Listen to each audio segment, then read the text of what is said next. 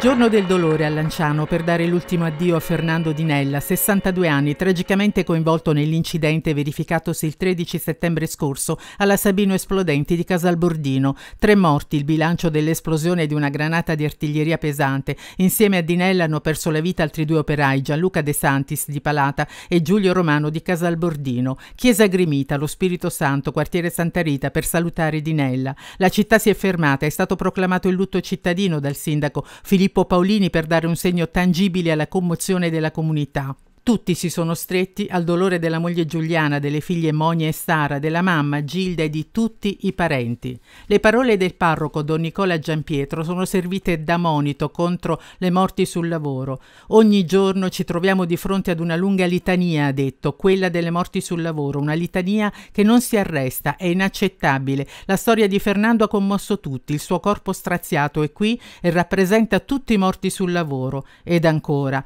loro ci guardano e ci chiedono chiedono conto e quindi occorre impegno, responsabilità, concretezza, scelte coraggiose, ma le cose vanno cambiate. Presente il sindaco Filippo Paolini che commosso ha portato le condoglianze di tutta la città, ha ricordato Fernando come persona onesta, dal sorriso e dallo sguardo che ispiravano serenità. C'erano anche i sindaci di Casalbordino e di Palata in provincia di Campobasso. Commozione, dolore, le struggenti parole delle figlie. Caro papà, vogliamo dirti grazie, siamo orgogliosi di te. Grazie per i valori che ci hai trasmesso, famiglia, lealtà, amore. Grazie per il coraggio che ci ha insegnato.